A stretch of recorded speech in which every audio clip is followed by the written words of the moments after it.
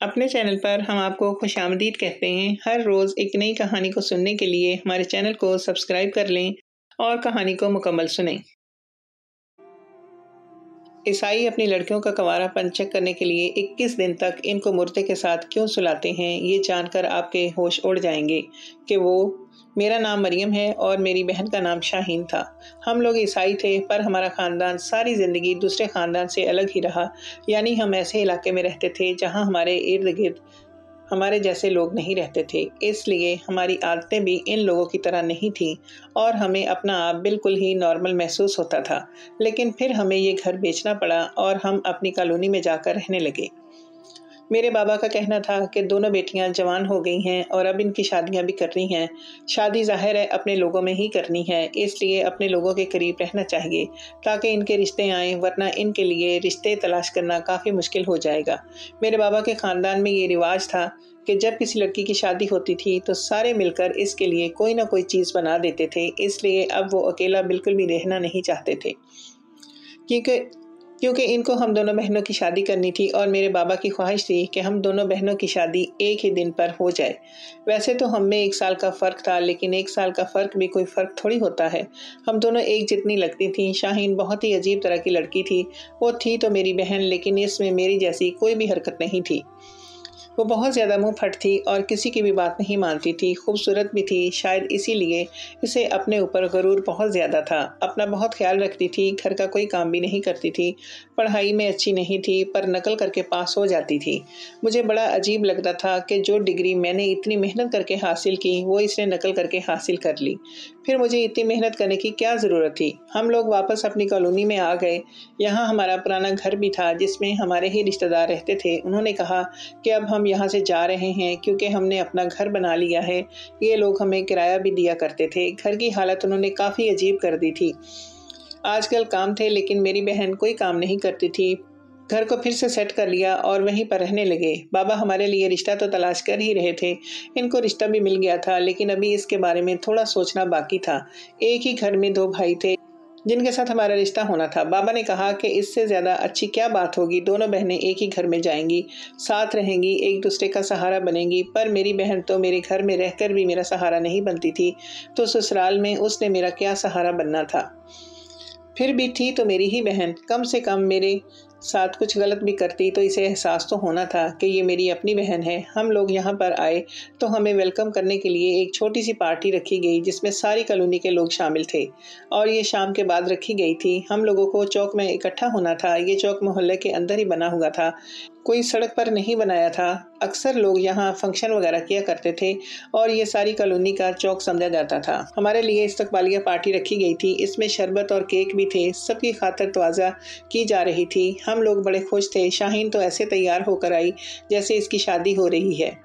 سب لوگ ہمیں دیکھ کر کافی متاثر ہوئے کہ لڑکیاں تو بہت پیاری ہیں، لیکن جب ایک لڑکی ہمارے ساتھ بیٹھ گئی تھی تو ہمارے ساتھ اس کی دوستی ہو گئی۔ اس نے کہا کہ یہاں پر تو ایک رسم بھی ہوتی ہے، بس اس رسم کی وجہ سے ہی لڑکیاں شادی سے ڈرتی ہیں، ورنہ شادی کرنے کا شوق تو سب کو ہی ہوتا ہے۔ اس نے یہ موضوع شروع کیا جب شاہین نے اس کو بتایا کہ وہ شادی کرنے والی ہے اور ہمارے لیے رشتہ بھی تلاش کر لیے ہیں۔ اس نے کہا کہ مجھے پتہ ہے رشتہ جن سے ہو رہا ہے وہ ہمارے بھی دور کے رشتہ دار ہیں۔ میں نے کہا کہ وہ کیسے لوگ ہیں، مجھے تو فکر تھی، لیکن شاہین کو تو صرف شادی کا شوق چڑھا ہوا تھا۔ اس لڑکی نے کہا کہ وہ لوگ بہت اچھے ہیں، دونوں بھائی ہیں، اچھے انسان ہیں۔ ان کے بارے میں کبھی کوئی ایسی ویسی بات نہیں سنی میں نے، پر انہوں نے شادی کے بعد ایک رسم کروانے کا شور ڈالا ہوا ہے۔ وہ یہاں پر لوگ نہیں کرواتے، پر وہ لوگ تو ضرور کروائیں گے۔ وہ امیر ہیں تو پھر ان کی بات بھی ماننی پڑے گی۔ میں نے کہا کہ کیسی رسم؟ اس نے کہا کہ چھوڑو۔ تم کو بتاؤں گی تو تم شادی سے انکاری ہو جاؤ گی۔ پھر سب کہیں گے کہ میں نے یہ سب کچھ کیا ہے، اسی لیے میں تمہیں نہیں بتاتی، تم اپنے ابو سے پوچھ لینا۔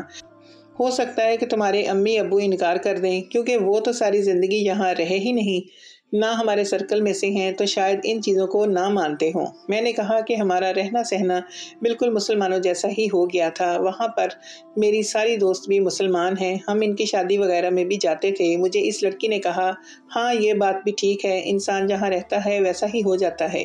اور ضروری تو نہیں کہ آپ خود کو اتنا زیادہ سخت کر لیں گے۔ اپنی رسموں کے علاوہ کسی اور کی رسموں کو بھی کچھ سمجھیں۔ لیکن یہ رسم کوئی ایسی رسم نہیں جو ہر جگہ ہوتی ہے۔ یہ صرف اسی کالونی میں منائی جاتی ہے، کیونکہ یہ پرانے زمانے سے چلتی آ رہی ہے۔ بات تو وہی ہے جو ہر انسان جاننا چاہتا ہے کہ لڑکی شادی سے پہلے کنواری تھی یا نہیں۔ یہ بات سن کر شاہین کے کان کھڑے ہو گئے۔ اس نے کہا کہ کیا مطلب؟ یہ کیا بات ہوئی؟ اس نے کہا، دیکھو، یہ تو ہر جگہ ہوتا ہے۔ یہی رسم ہوتی ہے، جب کسی لڑکی کی شادی ہو جاتی ہے تو عورتیں یہ بات جاننے کی کوشش میں لگی رہتی ہیں کہ یہ لڑکی شادی سے پہلے کنواری تھی یا نہیں، اور یہ بات آرام سے پتہ چل جاتی ہے۔ لیکن لوگ اس کو جاننے کے لیے عجیب و غریب قسم کی رسموں کا سہارا لیتے ہیں۔ یہ رسم بھی کچھ ایسی ہی ہے۔ مسلمانوں میں بھی اس طرح کی رسمیں ہوتی ہیں، لیکن یہاں پر تو کچھ زیادہ ہی عجیب ہے۔ اور جن کے گھر میں تمہارا رشتہ کروا رہے ہیں، انہوں نے خود اپنی بیٹیوں کے ساتھ بھی یہ رسم کروائی تھی۔ تو بہو کو کیسے چھوڑ دیں گے؟ میں اس سے پوچھنا چاہتی تھی کہ ذرا مجھے تفصیل سے بتائے، وہ کھڑے کھڑے بات کر رہی تھی اور میوزک کی آواز کی وجہ سے ٹھیک طرح سے کچھ سنائی نہیں دے رہا تھا۔ میں نے اس لڑکی کو کہا کہ وہ ہمارے گھر آئے، کسی دن بیٹھ کر بات کریں گے۔ اس نے کہا کہ وہ ضرور آئے گی۔ پارٹی ختم ہو گئی۔ ہم اپنے اپنے گھر آ گئے۔ شاہین کو کسی بات کی فکر نہیں ہوتی تھی۔ ذرا سی بھی نہیں، اپنی ہی دنیا میں مصروف رہتی تھی، لیکن آج خود سے مجھے کہہ رہی تھی کہ وہ کیسی الٹی سیدھی باتیں کر رہی تھی۔ تم ذرا امی سے پوچھو کہ ایسا کیا ہے۔ کیا سچ مچ میں کوئی عجیب رسم ہے؟ میں نے کہا کہ تمہیں کیوں فکر ہو رہی ہے؟ اگر ہمارا کنوارا پن چیک کرنے کے لیے کوئی رسم کریں گے، تو ہم نے کون سا کوئی غلطی کی ہوئی ہے؟ جو ہمیں پریشان ہونے کی ضرورت ہے۔ ویسے بھی جب ایک انسان دوسرے انسان کو کوئی قصہ کہانی سناتا ہے، تو وہ اپنے پاس سے دو چار لگا دیتا ہوگا۔ کوئی عام سی رسم جیسے شادی میں رسم ہوتی ہے، اب تو گھر میں بھی شادی کی بات ہونے لگی تھی اور ہمیں لڑکوں کی تصویریں بھی دکھا دی گئی تھیں۔ دونوں لڑکوں میں سے ایک لڑکا بہت خوبصورت تھا اور دوسرا مناسب شکل کا تھا۔ اسی طرح ہماری تصویریں بھی ان کے گھر بھیجی گئی تھیں اور اب انہوں نے یہ طے کرنا تھا کہ کس بیٹے کے لیے ان کو کون سی لڑکی پسند ہے۔ لیکن اس سے پہلے وہ ہمیں ایک دفعہ دیکھنے بھی آ رہے تھے۔ میری بہن بہت زیادہ خوبصورت لگ رہی تھی، لیکن میں اتنی زیادہ خوبصورت تھی نہیں، تو لگتی کیسے؟ منہ پر میک اپ کر کے بیٹھ جاتی، تو میری اپنی ہی شکل تو نہ ہوتی، اس لیے جیسی تھی ویسی ہی ان کے سامنے چلی گئی۔ انہوں نے کہا کہ ہم آپ کو دو دن کے بعد فائنل بتا دیں گے، اور اس بات کے بارے میں کسی نے برا بھی نہیں منایا۔ کیونکہ بچوں کی شادی کا معاملہ ہو تو کوئی جلدی جلدی فیصلے نہیں کرتا، لیکن اس بیچ بہت کچھ عجیب ہوا۔ میں نے اپنی بہن کے کمرے کی صفائی کی تو مجھے اس کے دراز میں سے کچھ ملا، جسے دیکھ کر میں حیران رہ گئی۔ یہ اس کا ایک چھوٹا سا ڈبا تھا جس کے اندر وہ زیور رکھا کرتی تھی۔ میری کچھ چیزیں نہیں مل رہی تھیں تو مجھے لگا شاید اس کے پاس چلی گئی ہوں گی، لیکن جب میں نے ڈبے کو کھولا تو میں حیران رہ گئی کہ اس کے اندر تو پیسے تھے اور جتنے پیسے تھے ان کو جمع کرنے کے لیے تو اسے دو سے تین سال چاہیے تھے، کیونکہ ہمیں زیادہ جیب خرچ نہیں ملا کرتا تھا۔ اور ان دو تین سالوں میں بھی میں نے پیسے جمع کیے تھے جو ان پیسوں سے آدھے بھی نہیں تھے، جبکہ میں اپنے لیے کچھ بھی نہیں لیتی تھی اور میری بہن تو اپنے فون میں بیلنس بھی کرواتی تھی، کپڑے جوتے بھی لیتی تھی، چاکلیٹ بھی کھاتی تھی اور آئے دن میک اپ کی کوئی نہ کوئی چیز لے لیا کرتی تھی۔ پھر اس نے پیسے کہاں سے لیے؟ میں نے سوچا اس سے پوچھوں گی، تو یہ جھوٹ بولے گی کہ کسی اور کے ہیں یا میرے پاس تو ہے ہی نہیں۔ میں نے پیسے اٹھا لیے کہ جب یہ دیکھے گی کہ پیسے نہیں پڑے تو پھر کسی نہ کسی سے سوال کرے گی۔ اور اس نے اس دن دیکھ لیا کہ وہاں پر پیسے نہیں ہیں۔ اب اس کی حالت کچھ عجیب سی ہو گئی۔ وہ پوچھنا بھی چاہتی تھی اور پوچھ بھی نہیں پا رہی تھی۔ اس کا مطلب کہ اس کے دل میں چور تھا۔ اس نے امی سے پوچھا کہ آپ نے میرے کمرے کی صفائی کی ہے؟ تو امی نے کہا نہیں۔ مریم نے کی تھی۔ وہ میرے پاس آئی اور کہنے لگی، تم نے میرے کمرے کی صفائی کی تھی؟ میں نے کہا ہاں میں نے کمرے کی صفائی تو کی تھی۔ اس نے کہا کہ تمہیں میری کوئی چیز نہیں ملی، دراز میں رکھی ہوئی تھی۔ میں نے کہا، نہیں، میرا دراز میں کیا کام ہے؟ میں نے تو صرف جھاڑو کیا تھا، اس بات پر وہ خاموش ہو گئی۔ لیکن دو تین دن گزر گئے۔ پھر ایک دن کہنے لگی کہ میرے پیسے واپس کرو، مجھے پتا ہے تم نے اٹھائے ہیں۔ کیونکہ جس دن تم نے صفائی کی تھی، اس دن سے ہی صفایا ہوا ہے۔ آخر اس کے ہونٹوں پہ بات آ ہی گئی۔ میں نے کہا کہ پہلے تم بتاؤ، اتنے سارے پیسے تم نے کہاں سے لیے ہیں؟ اس نے کہا، جہاں سے بھی لیے ہیں، وہ پیسے میرے ہیں۔ مجھے واپس کر دو۔ جب میں نے انکار کیا تو اس نے جھگڑا کرنا شروع کر دیا اور بلاخر میں نے اس کے پیسے اسے واپس کر دیے۔ میں نے کہا کہ یہ لو اپنے پیسے، لیکن جو کچھ تم کر رہی ہو وہ ٹھیک نہیں ہے۔ اگر اس کا تعلق کسی غلط بات سے ہوگا تو میں تمہارا ساتھ کبھی بھی نہیں دوں گی۔ جس جگہ ہمارا رشتہ ہو رہا ہے، انہوں نے جواب دیا تھا، ان کو یہ رشتہ قبول تھا، لیکن جو ان کا خوبصورت بیٹا تھا، اس کا رشتہ انہوں نے میرے ساتھ کرنے کی بات کی اور جو دیکھنے میں مناسب تھا، اس کا رشتہ میری بہن کے ساتھ۔ یہ بات میری بہن کو بالکل بھی ہضم نہیں ہو رہی تھی۔ اس نے کہا کہ انہوں نے کس طرح کی جوڑی بنائی ہے۔ خوبصورت بندے کے ساتھ خوبصورت عورت کی جوڑی بنانی چاہیے تھی نا؟ اس نے یہ بات بہت آرام سے کر دی۔ میری ماں نے کہا کہ زیادہ ہی بولتی ہو تم۔ اپنی زبان اپنے سسرال میں جا کر ہی چلانا۔ ان کی مرضی انہوں نے جس کو بھی پسند کیا اور اب وہ یہی چاہتے ہیں کہ تم دونوں بہنوں کی شادی وہاں پر ہو جائے۔ کس سے ہوگی؟ اس سے کوئی فرق نہیں پڑتا۔ جو تمہارے نصیب میں ہوگا وہی ملے گا۔ میری بہن شادی سے اداس تھی، لیکن اب رشتہ پکا ہو چکا تھا اور وہ کچھ نہیں کر سکتی تھی، اس لیے خاموش ہو گئی۔ لیکن میری امی بھی کافی پریشان تھی۔ پھر انہوں نے ہمیں ایک بات بتائی۔ امی نے کہا کہ بیٹا دیکھو، یہ جو خاندان ہے بہت ہی پرانا اور بڑا ہے۔ یہ لوگ بہت امیر ہیں اور ان کا کاروبار بھی ہے، اسی لیے اگر اس گھر میں تمہاری شادی ہو جائے تو ہمیں ہمیشہ اس بات کی خوشی رہے گی کہ تم لوگ ایک اچھے گھر میں گئی ہو، جہاں پر تمہیں کسی بھی چیز کی کمی نہیں ہوگی۔ یہاں تک کہ گھر کے کام بھی نہیں کرنے ہوں گے۔ پڑھے لکھے لوگ ہیں، اچھے ہیں، بس ذرا پرانے خیالات کے ہیں۔ اسی لیے وہ ایک رسم کرنا چاہتے ہیں۔ میں ان کی بات پر متوجہ ہوئی، یہ وہی رسم تھی جس کا ذکر لڑکی کر رہی تھی۔ امی نے ہم دونوں بہنوں کو بٹھایا تھا۔ انہوں نے کہا کہ لوگوں کو اس بات سے بہت فرق پڑتا ہے کہ جس لڑکی سے ہماری شادی ہو رہی ہے، وہ کہیں پہلے کسی کے ساتھ رشتے میں تو نہیں رہ چکی۔ اسی لیے وہ تم دونوں بہنوں کا کمارا پان چیک کرنے کے لیے ایک رسم کریں گے، جو کافی عجیب ہے۔ تم لوگوں کی شادی ہو جائے گی اور تمہیں ایک مرتے کے ساتھ اکیس دن تک ایک کمرے میں رہنا ہوگا۔ ہم نے یہ بات سنی تو ہم حیران رہ گئے۔ مجھے ڈر لگنے لگا۔ میں نے کہا کہ امی، یہ کس طرح کی بات ہے؟ امی نے کہا کہ بس یوں سمجھو کہ یہ تمہاری خوشحال زندگی کا ایک چھوٹا سا مشکل حصہ ہے، جس کو تم لوگوں نے پار کرنا ہے۔ اس کے بعد سب کچھ ٹھیک ہو جائے گا۔ مجھے اپنی بیٹیوں پر پورا بھروسہ ہے۔ ویسے بھی تم دونوں اس رسم کو پاس کر لو گی جب امی نے یہ بات کی تو میری بہن اچانک سے سنجیدہ ہوئی۔ اس نے کہا کہ پاس کر لوں گی کا کیا مطلب ہے؟ کیا اس میں کوئی فیل بھی ہو سکتا ہے؟ میری ماں نے کہا کہ ہاں بالکل۔ تبھی تو یہ رسم کی جاتی ہے کہ اگر کوئی کسی کے ساتھ پہلے کچھ غلط کر چکی ہے، تو اس کے بارے میں پتہ چل جائے گا۔ میری بہن نے کہا، یہ کیسے پتہ چلتا ہے؟ امی نے کہا، یہ بات تو مجھے بھی نہیں پتا کیونکہ میں نے تو یہ رسم کبھی نہیں کی، کیونکہ میں اس خاندان میں تو نہیں آئی۔ یہ تو ان لوگوں کو پتا ہوگا، لیکن وہ کہہ رہے تھے کہ اگر لڑکی اس میں فیل ہو جائے، تو پھر اس کا رشتہ ختم ہو جاتا ہے، اسے چھوڑ دیا جاتا ہے، لڑکا اس کے ساتھ نہیں رہتا۔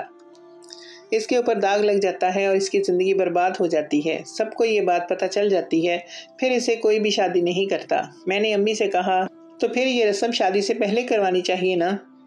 کہ شادی ہی نہ ہو۔ امی کا کہنا تھا کہ نہیں، شادی کے بعد کروائی جاتی ہے تاکہ اس لڑکی کو سزا ملے گی اور سب کو پتہ چلے گا اس کی شادی ٹوٹ گئی ہے اور پھر کوئی بھی اسے نہ اپنائے۔ امی نے کہا کہ اگر کسی نے شادی سے پہلے اپنے ماں باپ کی عزت خراب کی ہے تو بے شک اس کے ساتھ یہی ہونا چاہیے۔ کیونکہ یہ تو غلط بات ہے نا۔ ہماری ماں نے ہماری بہت اچھی تربیت کی تھی، انہوں نے ہمیشہ اچھی بات بتائی تھی۔ ان کو ہم دونوں پر پورا یقین تھا۔ میری بہن کافی پریشان تھی۔ اس نے کہا کہ امی، آپ ان کو منع بھی تو کر سکتے تھے۔ آج کل ایسی باتوں پر کون یقین کرتا ہے؟ امی کا کہنا تھا کہ جب ہمارے دل میں کوئی چور نہیں ہے تو ہم کیوں برا منائیں؟ اور ہم کیوں کہیں یہ رسم نہیں کرنی؟ اس طرح وہ سوچیں گے کہ شاید ہماری بیٹیاں خراب ہیں۔ مجھے پورا یقین ہے تم دونوں پر اور پھر ساری زندگی کے لیے وہ تمہارے دباؤ میں آ جائیں گے۔ ان کو پتہ چل جائے گا کہ لڑکیاں بہت اچھے خاندان کی ہیں۔ پھر تمہاری زیادہ عزت ہوگی بیٹا، اور پھر اس رسم سے کیا فرق پڑتا ہے؟ شادی شدہ زندگی کے شروع میں تو سب کو ہی مسائل برداشت کرنے پڑتے ہیں۔ زیادہ مسئلہ نہیں ہوگا، یہ دن گزر جائیں گے۔ بس تم لوگ اس کمرے میں رہنا، کھانا پینا اور اپنا بہت زیادہ خیال رکھنا۔ میں نے امی سے کہا کہ ہم دونوں بہنوں کی شادی ایک ساتھ ہو رہی ہے، کیا ہمیں ایک ہی کمرے میں رکھا جائے گا؟ تو میری ماں نے کہا کہ یہ تو نہیں پتا، اس کے بعد میری بہن شادی سے انکاری ہو گئی۔ اس نے یہ وجہ بتائی کہ میری شادی جس انسان سے کر رہے ہیں، مجھے اس کی شکل پسند نہیں آ رہی۔ لیکن ایسی بات نہیں تھی، میں جانتی تھی کہ بات ضرور کوئی اور تھی، کیونکہ یہ لوگ بہت امیر تھے اور میری بہن کو ہمیشہ سے بڑے گھر میں شادی کرنے کا شوق تھا۔ ویسے بھی وہ لڑکا دیکھنے میں اتنا برا نہیں تھا۔ میری بہن شادی سے انکار کر رہی تھی۔ وہ بالکل بھی بات نہیں مان رہی تھی۔ یہاں تک کہ میرے ابو نے اس کی زبردستی شادی کروائی۔ انہوں نے کہا کہ تم اس طرح کی حرکتیں کرو گی تو تمہاری بہن کی بھی شادی نہیں ہوگی اور تمہاری وجہ سے ہم تمہاری بہن کی زندگی برباد نہیں ہونے دیں گے۔ تم نے ساری زندگی ہماری کون سی بات مانی ہے؟ ہمیشہ اپنی من مانی کی ہے اور اب یہ نہیں ہوگا۔ ہم دونوں کی شادی کا دن طے ہو گیا، ہماری شادی ہو گئی اور ہمیں چرچ سے ہی اس کمرے میں لے جایا گیا جہاں پر ہمیں اکیس دن تک رہنا تھا۔ وہاں تو واقعی ایک مردہ پڑا ہوا تھا، لیکن اس کے چہرے پر کپڑا پڑا تھا۔ مجھے کافی ڈر لگ رہا تھا۔ میری بہن کو دوسرے کمرے میں رکھا گیا تھا۔ ہم کو سب لوگوں نے تسلی دی تھی اور سب لوگوں نے ہمیں ایسے محسوس کروایا تھا جیسے ہم لوگ بہت بڑا پہاڑ سر کرنے جا رہے ہیں۔ ہمارے شوہروں سے کوئی بات نہیں ہوئی تھی، بس شادی میں وہ ہمارے ساتھ تھے۔ اس کے علاوہ ہماری ان سے بھی بات چیت نہیں ہو سکتی تھی۔ جب ہم یہ رسم پوری کر لیتے، تب وہاں سے ہی اپنے گھر کو چلے جاتے۔ اس کمرے میں ہمارے سونے کے لیے بستر بھی تھا، کھانے پینے کا سامان بھی کھڑکی سے اندر آ جاتا تھا۔ مجھے ڈر تو بہت لگ رہا تھا، لیکن میں وہیں پر موجود تھی۔ ایک ہفتہ بھی گزرا تھا۔ ابھی سے دل بہت اداس ہو رہا تھا۔ میں سوچ رہی تھی کہ مردے کو اتنے دن تک یہاں پر رکھا ہے اور اس کے اوپر کوئی دوائی وغیرہ لگائی ہوگی تاکہ یہ خراب نہ ہو جائے۔ میری بہن کا کیا حال ہو رہا ہوگا؟ وہ تو میرے سے بھی زیادہ ڈرپوک تھی۔ اور اس میں صبر بالکل بھی نہیں تھا۔ دن اسی طرح گزرتے چلے جا رہے تھے۔ پورا دن گزارنا بہت مشکل تھا، لیکن میں اپنے ساتھ بائبل لے آئی تھی اور وہیں بیٹھ کر پڑھتی رہتی تھی۔ تو میرا دن آسانی سے گزر جاتا تھا اور مجھے ڈر بالکل نہیں لگتا تھا۔ ایک رات میں سکون سے سو گئی اور صبح میری آنکھ کھلی تو قدموں تلے سے زمین نکل گئی۔ میں حیران رہ گئی۔ مجھے سمجھ نہیں آ رہا تھا کہ یہ سب کچھ کیسے ہوا، کیونکہ مجھے تو بتایا گیا تھا کہ اکیس دن پورے کرنے ہیں اور ابھی تو صرف تیرہ دن ہوئے تھے۔ لیکن سامنے کا منظر ہی کافی عجیب تھا اور میری آنکھوں کے سامنے تھا، جس جگہ پر اس مردے کو رکھا گیا تھا، وہ وہاں پر تھا ہی نہیں۔ یہ کمرہ تو بہت ہی چھوٹا تھا۔ عام کمرے سے بھی چھوٹا، یہاں پر تو کوئی دروازہ تھا اور نہ ہی کہیں اور جانے کا راستہ تھا۔ بس ایک دروازہ اندر آنے کے لیے جس کو باہر سے بند کیا گیا تھا اور ایک چھوٹی سی کھڑکی تھی جس سے صرف کھانے کی ٹرے اندر آتی تھی۔ پر ایک باتھ روم بنایا گیا تھا، اس کا بھی دروازہ نہیں تھا۔ میں کافی ڈر گئی اور میں باتھ روم کی طرف جانے لگی۔ وہاں تک جاتے جاتے مجھے اتنا ڈر لگا جتنا زندگی میں آج تک نہیں لگا تھا۔ لیکن باتھ روم کے اندر بھی کوئی نہیں تھا اور میں کافی پریشان تھی اور تقریباً ساڑھے تین گھنٹے کے بعد دروازہ کھل گیا۔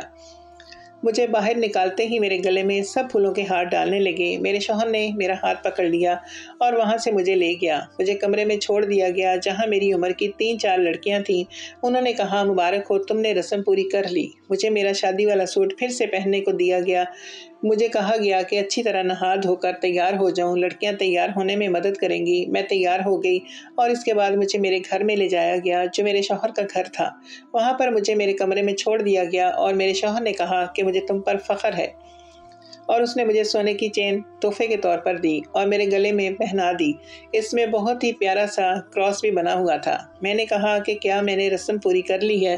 اس نے کہا کہ ہاں تم نے رسم پوری کر لی ہے۔ میں نے کہا اور میری بہن نے بھی کر لی۔ تو میرا شوہر خاموش ہو گیا۔ اس نے کہا، یہ باتیں بعد میں کریں گے۔ پہلے ہم اپنی زندگی کا آغاز کریں گے۔ میں تم سے بہت زیادہ خوش ہوں۔ میری زندگی بہت اچھی چل رہی تھی۔ دوسرا دن تھا، میری بہن گھر میں نہیں تھی۔ میں کافی پریشان ہو گئی۔ میری امی ابو نے کہا کہ تم گھر آ جاؤ، تمہاری دعوت ہے۔ جب میں وہاں گئی تو میری بہن کمرے میں بیٹھی ہوئی تھی اور کافی اداس لگ رہی تھی۔ کسی سے بات نہیں کرتی، مجھے دیکھ کے اس نے کمرے کا دروازہ بند کر دیا۔ میں نے امی سے کہا کہ کیا ہوا اس کے ساتھ؟ امی نے کہا کہ اس نے رسم پاس نہیں کی۔ میں حیران رہ گئی۔ میری ماں ہاں میں سر ہلا رہی تھی۔ میری ماں نے رونا شروع کر دیا۔ ان کا کہنا تھا کہ اس لڑکی نے تو ہمیں کہیں کا نہیں چھوڑا۔ اس کا ایک لڑکے کے ساتھ چکر تھا، جس سے یہ پیسے بھی لیا کرتی تھی۔ مجھے ان پیسوں کا خیال آیا جو میری بہن کے پاس تھے۔ اب مجھے سمجھ آیا کہ پیسے کہاں سے آئے تھے اور اس نے اس لڑکے کے ساتھ آخری حد بھی پار کر لی تھی۔ میں نے کہا، لیکن یہ سب کچھ ہوا کیسے؟ کیسے پتا چلا؟ ان لوگوں کو اس رسم سے یہ کیسے سامنے آ گئی بات؟ میری امی کا کہنا تھا کہ وہ ایک خاص قسم کا آدمی ہے۔ جس نے یہ رسم ایجاد کی، اس کے خاندان کی نسل سے ہے۔ وہ سات دن تک مردے کی طرح وہاں پر لیٹا رہا۔ جب تم لوگ سو جاتی تھیں تو وہ کھانا کھاتا تھا۔ تم لوگوں کے کھانے میں نیند کی تھوڑی سی دوائی ڈالی جاتی تھی تاکہ تم لوگ پرسکون ہو کے سو جاؤ۔ تم لوگوں کو پتہ نہ چلے کہ بعد میں کیا ہو رہا ہے۔ تمہاری بہن وہاں پر فون لے گئی تھی اور فون پر اسی شخص سے باتیں کر رہی تھی۔ اسے کہہ رہی تھی کہ میری شادی ہو گئی ہے۔ لیکن جس انسان سے میری شادی ہوئی ہے، مجھے وہ بالکل بھی پسند نہیں، اس لیے ہم لوگ شادی کے بعد بھی تعلق رکھیں گے۔ اس آدمی نے یہ بات سن لی اور اس کو سب کچھ پتہ چل گیا، یا اس کے بعد جلد ہی رسم ختم ہو گئی۔ اور جب تم کمرے میں بیٹھی تھی، تم بائبل پڑھ رہی تھی، تم نے ایسی کوئی بات نہیں کی اور تمہارے بارے میں پہلے ہی پتہ چل گیا، وہ کوئی عام انسان نہیں جو وہاں پہ لیٹا ہوا تھا، وہ دو بھائی ہیں۔ اور دونوں کسی سے بات نہیں کرتے اور یہ کام کرنے کے لیے ہمیشہ تیار رہتے ہیں۔ یعنی اس کمرے میں جو مردہ لٹایا گیا تھا، وہ دراصل کوئی مردہ نہیں تھا، بلکہ ایک انسان تھا۔ میں نے کہا کہ یہ تو بہت برا ہوا، مجھے اس سے بات کرنی چاہیے۔ امی نے کہا کہ کوئی ضرورت نہیں ہے، اس سے بات کرنے کی، اسے ذرا محسوس ہونے دو کہ اس نے غلط کیا ہے۔ کہ اس نے کتنی بڑی غلطی کی ہے، تمہیں پتہ ہے، سب کو یہ بات پتہ چل گئی ہے۔ اب اس خاندان میں سے تو کوئی اس سے شادی نہیں کرے گا، اور ہم لوگ بھی اس کے لیے یہ علاقہ چھوڑ کر تو نہیں جا سکتے۔ محسوس کرنے دو کہ اس نے بہت بڑی غلطی کی ہے، اسے تسلی دینے کی کوئی ضرورت نہیں۔ ہے۔ میں نے کہا کہ جس کے ساتھ اس نے غلطی کی، اسی کے ساتھ اس کی شادی کیوں نہیں کرواتے؟ امی کا کہنا تھا کہ یہ بھی کر کے دیکھا ہے۔ ہم نے سوچا کہ اسے اسی کے ساتھ بھیج دیں گے، لیکن وہ شخص کوئی عیاش آدمی تھا۔ اس کو لڑکیوں کی کوئی کمی نہیں تھی۔ اس نے اس کو بے وقوف بنایا اور یہ سمجھتی رہی کہ وہ اس کو چاہتا ہے۔ وہ کبھی بھی شادی نہیں کرے گا۔ وہ اس کو اپنے گلے کا ڈھول نہیں بنانا چاہتا۔ یہ بہت بڑی بے وقوف ہے۔ اس کی بے وقوفی کی وجہ سے ہماری بہت بے عزتی ہوئی ہے۔ جب اس کو کمرے سے نکالا گیا تو سارے لوگ باہر جمع تھے جو اس کو باتیں سنانا چاہتے تھے، برا بلا کہنا چاہتے تھے، دھکے دینا چاہتے تھے، لیکن یہ تو ان کی نیکی تھی کہ اس کو صحیح سلامت یہاں پر بھیج دیا۔ ان لوگوں نے، اور اب وہی ہوگا جو اس کی قسمت میں ہوگا۔ ہماری بیٹی ہے، ہم اس کو سڑک پر پھینک نہیں سکتے۔ اس کے لیے کچھ نہیں کر سکتے اپنی بہن کے لیے، پھر بھی کچھ کرنا چاہتی تھی۔ لیکن کچھ نہیں کر سکتی تھی، کیونکہ یہ بات اب سب کو پتہ چل گئی تھی۔ امی نے کہا کہ تم اس معاملے میں نہیں بولو۔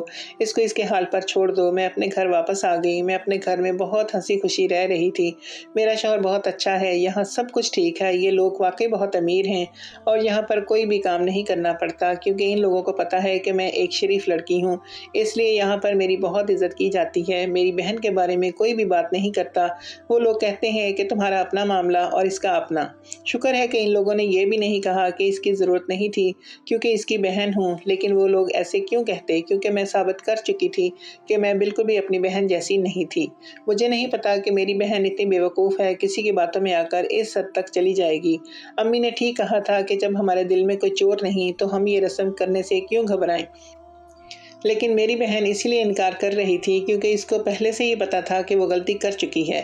اب میں اس کے لیے صرف دعا ہی کر سکتی تھی، وہ ابھی بھی نہیں بدلی، زیادہ بدتمیز ہو گئی ہے۔ میرا نام بھی نہیں سننا چاہتی، میں اپنی زندگی میں خوش ہوں۔ اور میرا شوہر بہت اچھا ہے، میری بہن کو پہلے بھی میں کچھ خاص پسند نہیں تھی، لیکن اب تو وہ مجھ سے بہت زیادہ نفرت کرتی ہے، پر میں کچھ نہیں کر سکتی۔